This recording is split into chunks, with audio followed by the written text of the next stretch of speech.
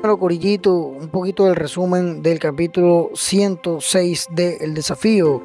Este capítulo 106 comenzó con la presentadora del desafío, por supuesto, diciendo que el perdedor llevaría un fuerte castigo y se refirió a, por supuesto, eh, tres ejemplos para ello. Cristal y David representando a Pibe, Daniel y Tatiana representando a Tino. El equipo rojo, como siempre, liderando en este importante desafío, como siempre lo ha hecho en otros capítulos.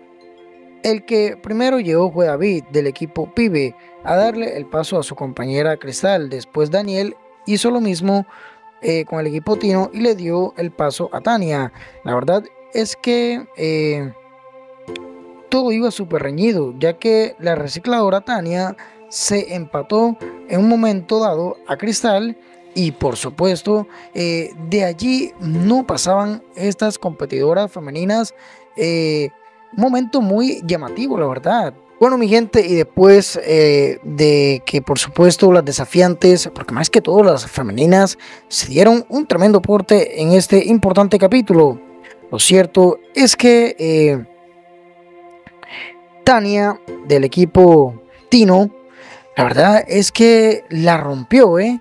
Hizo una espectacular presentación donde sí se demoró un poco tirando la bolita en la cesta, pero por supuesto después le sacó ventaja a la participante cristal del equipo Pibe.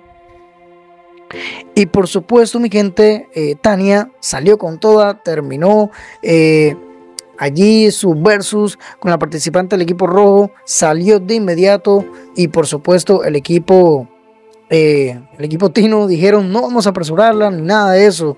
Así que muy bien también por Andrés, eh, el artista de Transmilenio, que por supuesto la hizo también súper excelente.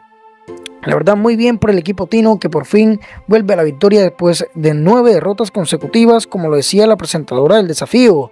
La verdad, mi gente, increíble capítulo del día de hoy. Eh, seguiremos eh, hablando sobre lo que sería el no avance del capítulo 107 y atentos a un breve resumen que después se lo vamos a, contar con muchos más detalles, ya que hay que confirmar que acaba de ganar el equipo Tino. Bueno mi gente, bueno mi gente, antes de acabar este video, sin duda la penitencia que tendría el equipo rojo sería noche de pareja.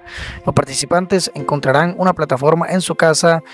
Cuando suene una alarma, las parejas se subirán a la plataforma y deben estar juntos en esa plataforma durante mediante a lo que suena la alarma.